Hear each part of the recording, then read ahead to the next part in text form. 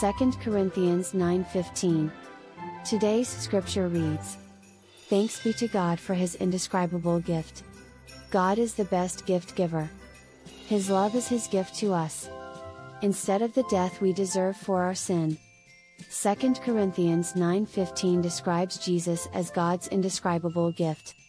His son is his greatest expression of love for us. God's gift are meant to stir generosity in us. We must be thankful for the blessings God has given us. We have already been blessed by waking up this morning. The simple things we take for granted are often the big blessings we unwrap each day. Life, freedom, good health, a warm home, food and clean water. In many parts of the world, these are extravagant, blessings people don't have. All we are, all we have, is a gift from God, Godly gift giving gives us the opportunity to point to Him. And keep the circle of generosity flowing to those He's purposefully placed in our lives.